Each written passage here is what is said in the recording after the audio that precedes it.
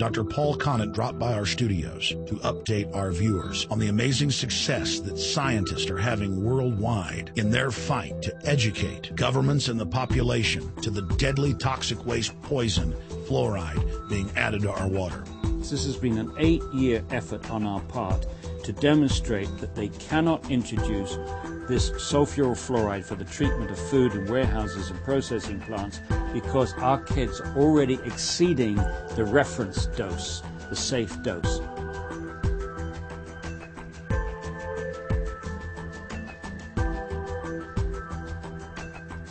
Dr. Paul H. Connett is our guest, and he is a environmental chemist and, of course, a toxicologist, and has been a prominent critic in the U.S. and around the world uh, since he first researched exactly what uh, the so-called substance fluoride is doing, being added to our water, but also being used uh, as a pesticide. And we had him in here uh, just uh, four or five months ago in studio with us. And since then, so many positive things have happened. And I wanted to get him on to discuss. The EPA has proposed a phase out of fluoride based pesticides. That's the New York Times.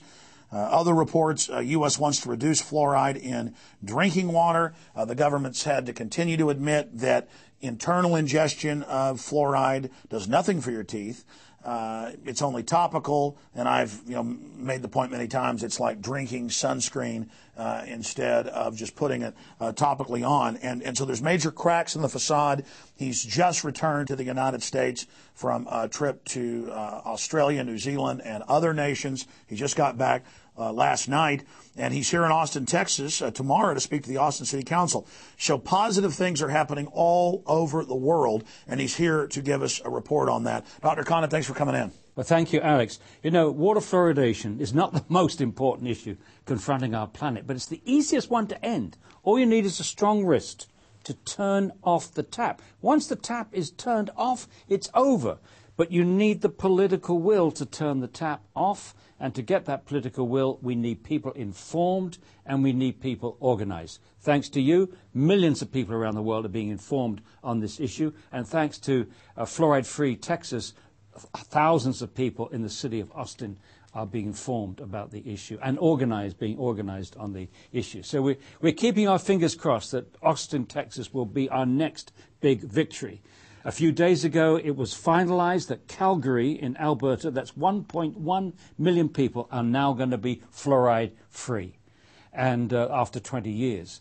And people in Waterloo, Ontario voted it out. So the squeeze is on Ontario. And don't forget that most of British Columbia and most of Quebec, the wings of Canada, are already fluoridation free. And we're squeezing on Alberta with Calgary out, Edmonton may be next, and then we're squeezing on Ontario. If Ontario was to go, if Toronto was to go, or even Ottawa was to go, I think it would be the end of fluoridation in Canada. Meanwhile, we've got a very good organizing group in New Zealand. FAN New Zealand is excellent, and FAN Australia has just been, been formed. So there's a fight back everywhere. And then a few days ago, I was in Dublin, which is mandatory fluoridation because of American pressure back in the 1960s. Ireland has mandatory fluoridation. It's the odd man out in Europe. Only three countries in Europe have any fluoridation at all. England at 10%, Spain at 3%, and Ireland at 73%. But lots of people in Ireland don't want this fluoride in their water. But many other people don't know it's there. Now, you've been talking about some of the big cities that are yeah. going fluoride free. I've, I've seen reports like towns outside Austin, like Lago Vista, right. uh, uh, having it removed. Other cities not putting it in. Big fights in places like San Diego, uh, where they've had to uh, you know, bring in supposed private money to do it.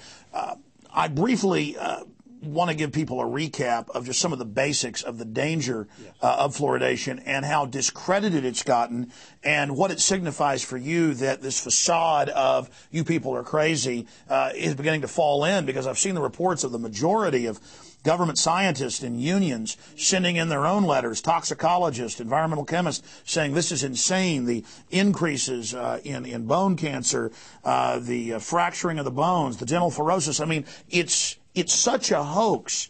Uh, but before we uh, go there, uh, you also gave me some very positive news earlier when we were talking about what's happening in the state of Georgia.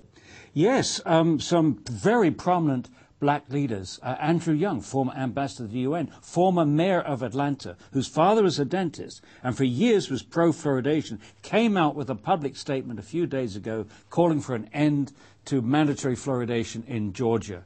And the reason is that they're now finding that black children are much more sensitive, appear to be much more sensitive to fluoride for a number of factors. For example, the rates of dental fluorosis, which is caused by fluoride, mottling of the teeth, is greater for black children and Hispanic children than it is for white children. But the parents are not being warned. You know, in terms of the basics, probably the single most basic fact that anybody needs to know is the level of fluoride in mother's milk you know, what was developed over millions of years by evolution, Mother Nature, however you, you saw the development of humankind, this is baby's first meal, which is designed to be the best delivery of all the things that the body needs, right? And it's practically none. The, the level of fluoride in mother's milk is 0.004 parts per million, which means a bottle fed baby is getting, in a fluoridated town like Austin, is getting 250 times more fluoride than nature intended. And then you have these lunatics, these, these people that are more interested in money than, than protecting our babies or our health, selling ba- for babies, for baby, look, for baby, water, so called purified water, which has fluoride added to it. So they're deliberately giving babies 250 times more fluoride than nature intended. And they push it in the public schools. They've got dozens of brands.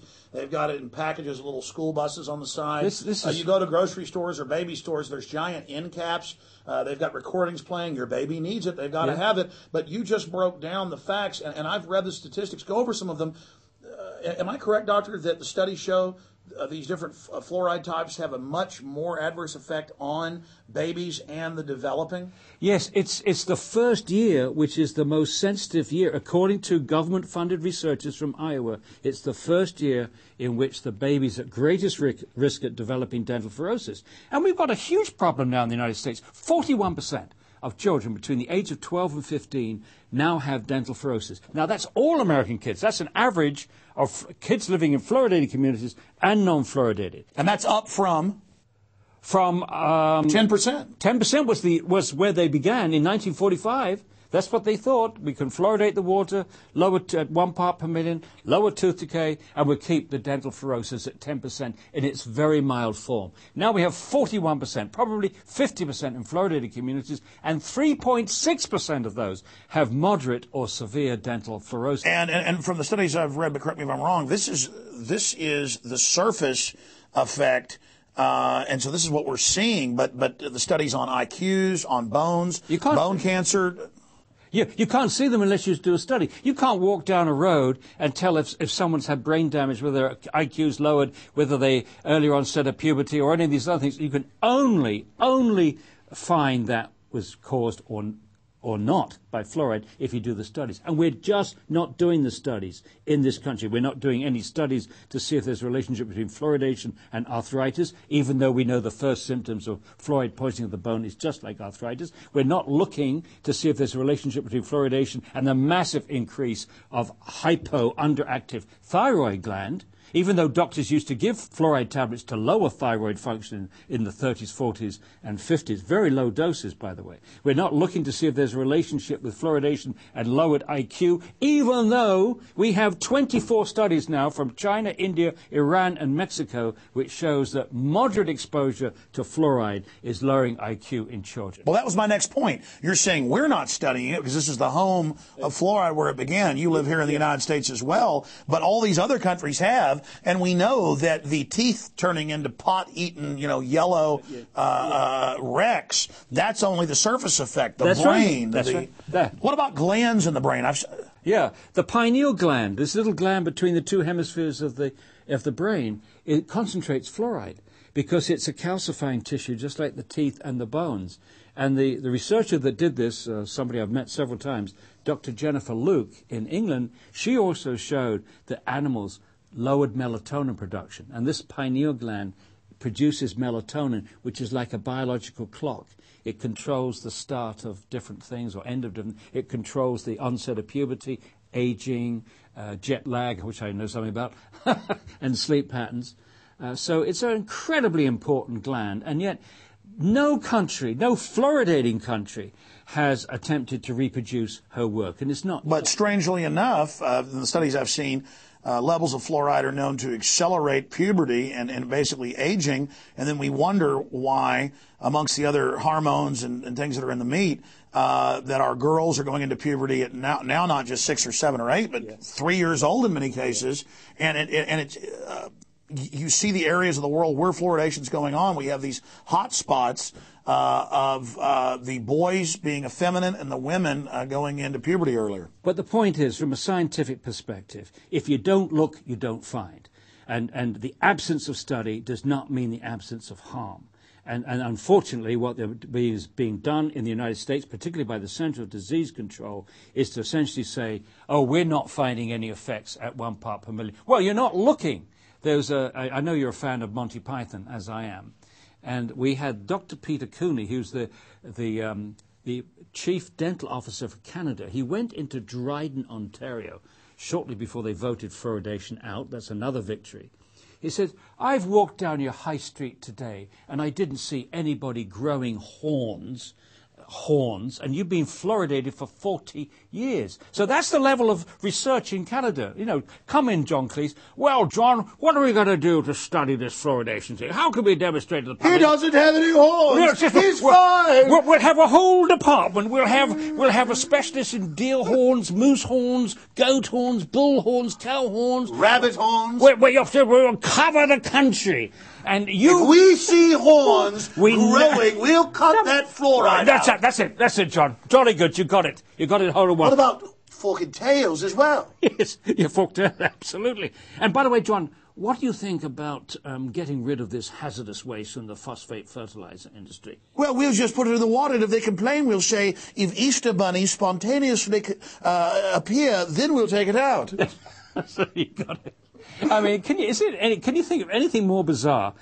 The, the hazardous waste of the superphosphate fertilizer industry, they can't dump it into the sea by international law. They can't dump it locally because it's too concentrated. But if someone buys it from them, it becomes a product.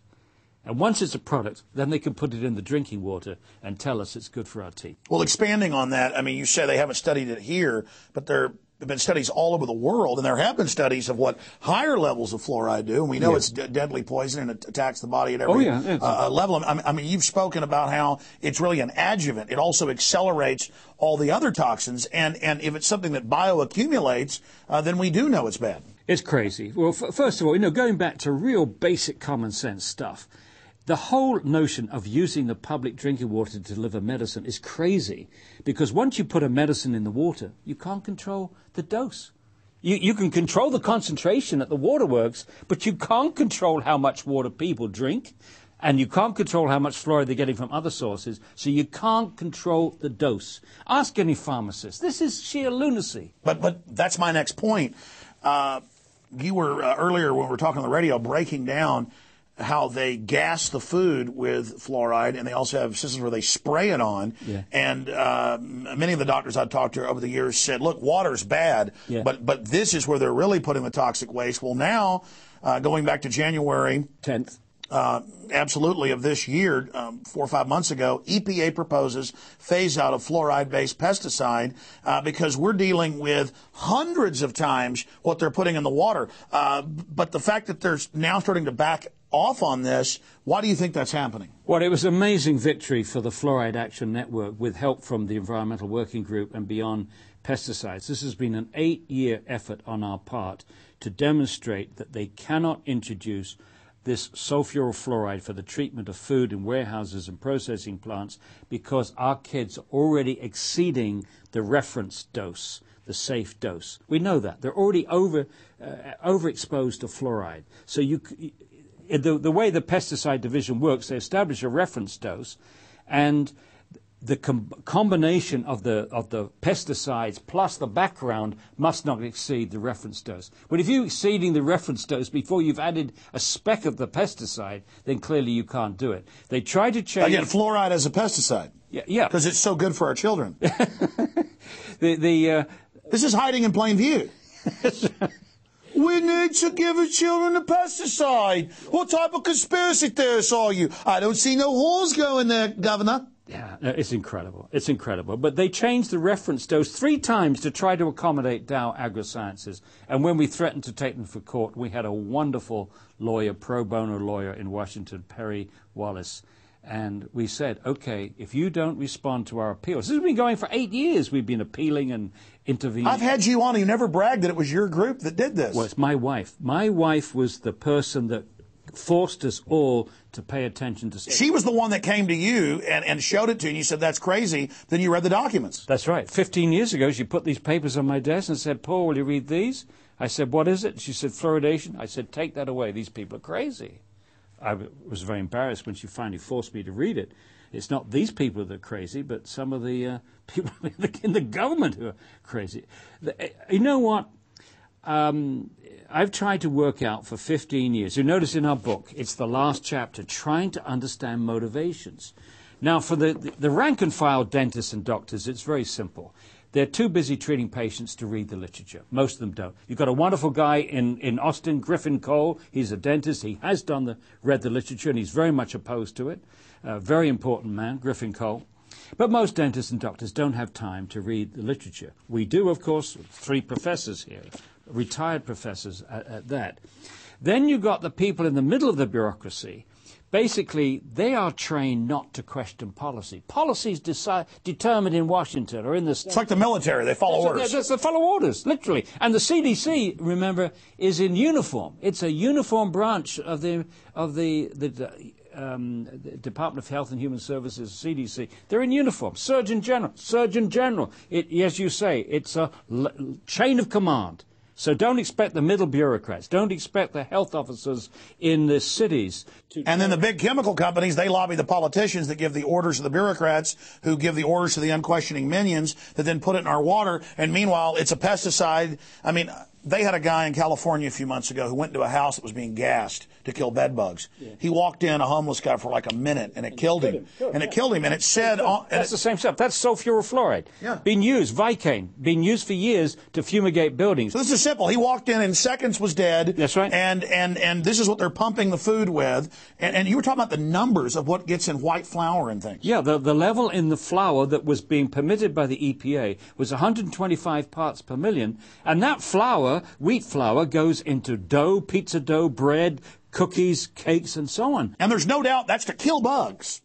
so, so, so you're eating something that's meant to kill bugs. Now, yeah. I'm no rocket scientist, yeah. but uh, I mean that's insane. But, but the, the, the, top of the chain of command. I, I went to the bottom, in the middle. What about the top? What's the motivation of these people in the Center of Disease Control, etc., Department of Health, Kathleen Sebelius? Why do they keep this going? For me, it's the fear of losing credibility. They have waxed lyrical so much for so long about this practice. I think they fear that if they lose fluoridation, they lose credibility. If they lose credibility, they lose other, the public's trust, which threatens other public health well, policies. This is the same government that secretly injected black people with syphilis. Yeah. And now it's come out they were doing it in Latin America and the atomic soldiers. I mean, these people have no credibility. And, and I agree with you, doctor. At that level, at, at you know the top policy wonks, but yeah. they're taking orders from people like John P. Holdren and uh, people he admired uh, uh, before him who all wrote about putting things like this in the water to reduce fertility. And we know it reduces fertility. And we know that they see us as animals, as a uh, scourge upon the earth.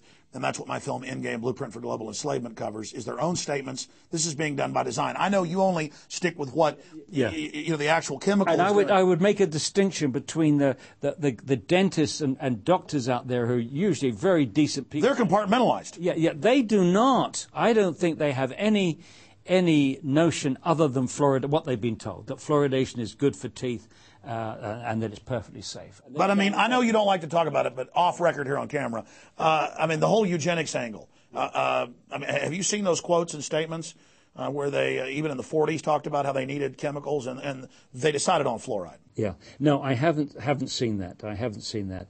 But I, I try to put that to one side because we have them on the ropes with the science. You know, the best the best study they've ever done on tooth decay in the United States. They looked at 39,000 children. in 84 communities. And what did they conclude?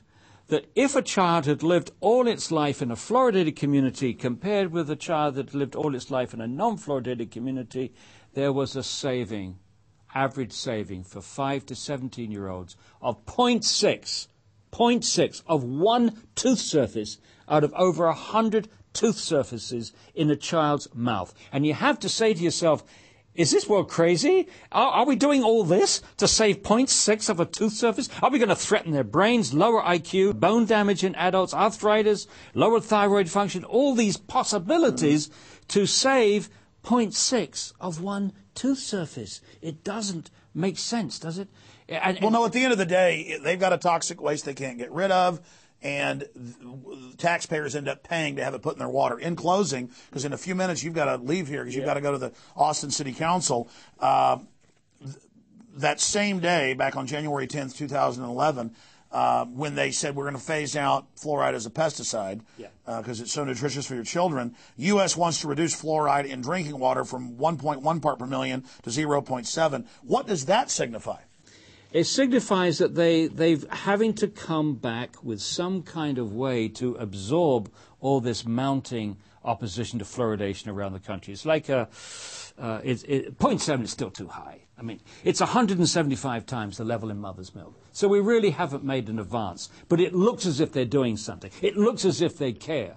But on the same day, the Office of Water of the EPA said, we are going to determine a new safe drinking water standard which will protect our children's health and protect the water fluoridation program. And we're saying you can't do both. You can't keep water fluoridation going if the object is to come up with a safe drinking water standard which protects everyone. Well, how can they everywhere put out water for babies and tell mothers, give this fluoridated water to your baby, when going back six years, the American Dental Association said don't give fluoride toothpaste to kids under six. Uh, when what they came out in 99 and admitted it doesn't do anything good when ingested. Uh, it's only topical. I mean, they know this. I guess it's some gimmick. Well, the trouble is the FDA, the Food and Drug Administration, has never approved fluoride for ingestion. They've washed their hands of this. They don't. It's an unapproved drug, and so these companies, I guess, can get away with this because the FDA is not watching, is not doing its job. This wouldn't pass the FDA. Hey, I've got an idea for all these companies to put it out because I know you're watching. How about you come out with purified water with no additives? For your baby, or purified water with added minerals, no fluoride. Yeah. I'll guarantee you, just like 10 years ago, all the milk had the, the uh, growth hormone in it, and in a few stores started getting real organic milk, and now you can't find the non organic milk. I guarantee you, water producers, you put out a bottle saying no fluoride, because I know most of these companies just want to make money, you're going to make a boatload of money. Yep. And the reason I'm giving you that great idea is because I don't like brain damaging children. You care about money, I care about kids not being brain damaged, okay? So, uh, still, you're selfish and evil. You know what you're doing. Why don't you go ahead and advertise it's fluoride free? You'd make a lot more money than going along with this evil, you know, bandwagon. In fact, the company here in, in Austin, Texas, is putting out a product it's called Pure Rainwater. This is rainwater from Oregon, which then goes through uh, extra treatment. So, yes, there is a demand for pure water, for clean water. The only thing I would urge people to do if they get water which has got everything taken out of it, make sure you buttress it with the nutrients that you, you need. Because if you need the minerals, you need the minerals, you need the calcium, you need the magnesium, and so on. So now that's the problem with reverse osmosis. Well, Dr. Connett, I just want to say, great job. Uh, in closing, um, it's they're not studying it here, but we do have studies all over the world, prestigious studies on the IQ issue. Close with that because this is this is incontrovertible facts. We have just got two studies out. One was a, um, an update of a study done in 2003 by Zhang and co-workers from China, and I visited the villages where this study was done, by the way, and he showed that there's a relationship between the amount of fluoride in the plasma of the children and the lowered IQ. So as the level of fluoride in the plasma goes up, the IQ of the children goes down. So that brings it closer to individual dose, not whether they live in this village or that village, but how much fluoride they actually were exposed to. This is relating to IQ. And another study which published just a few weeks ago by Ding and co-workers, they looked at very low levels, 0.3 to 3 parts per million. They find lowered IQ in that range of 0.3 to 3 parts per million. Well, this overlaps the range that we use in the United States, 0.7 to 1.2. So this completely knocks out the notion. And there's a lot of other studies. Those are just the new ones. We also have studies uh, of animals. In other oh, parts of the world. over a hundred animal studies. Yeah. Over a hundred animal studies. There's no question. Oh, the EPA itself, the Department of Neurotoxicology, I've forgotten the full title, has said that fluoridation, there is substantial evidence that fluoride is a neurotoxicant. Substantial evidence that fluoride is a neurotoxicant. And here we got this stupid company putting a, a, thing into the water for which the EPA says there is substantial evidence that fluoride is a neurotoxin, damages the brain. Amazing. We'll leave it at that. Dr. Connett, uh, give us the website. Fluoridealert.org. Make sure you spell fluoride F L U. Think of flu, fluoride, not fluoride, fluoride, alert.org.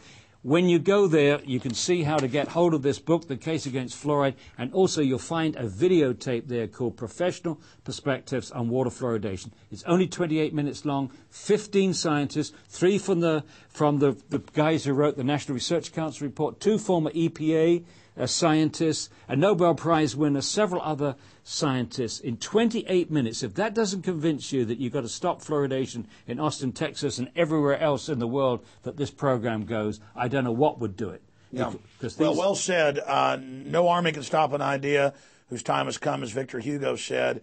And just great job. We are definitely on the march, and the empire is on the run. Uh, Dr. Connett, God bless you, and thank you for joining us today. I'm Alex Jones signing off for Infowars.com. Please spread this video to the four winds. We've got a lot of people to warn. Thank you for watching.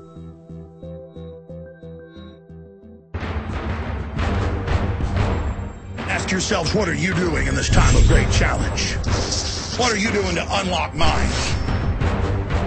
Go to Infowars.com and PrisonPlanet.tv for the latest headlines and cutting edge information.